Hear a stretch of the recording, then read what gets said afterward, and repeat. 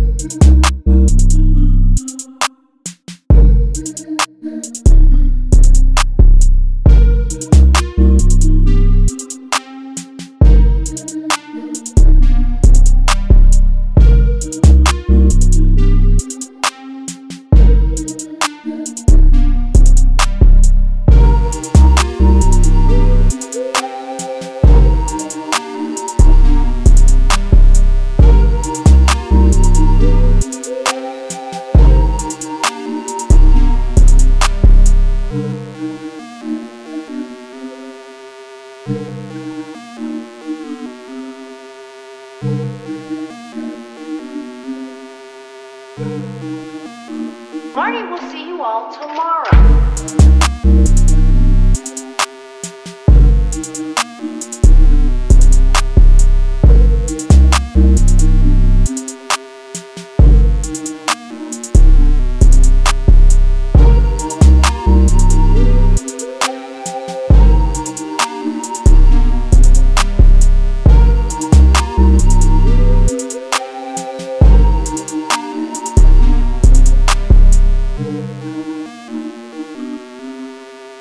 Thank